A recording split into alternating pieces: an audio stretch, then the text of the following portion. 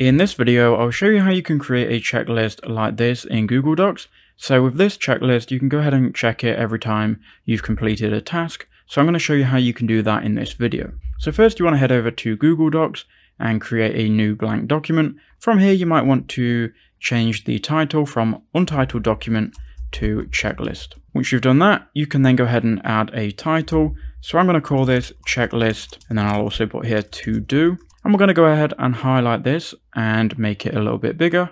And I'm also going to make this bold. Now I'm going to highlight this again and we will just go ahead and move this to the middle. So if we click here to the three dots, we can go ahead and go to align and then center align. Now what we can do is we can go ahead and start to write our checklist. So I've moved the text tool here back to the left.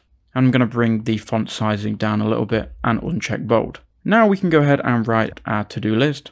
So let's say wash the dishes, clean floor, do laundry, feed the dog, and you can go on and on, right?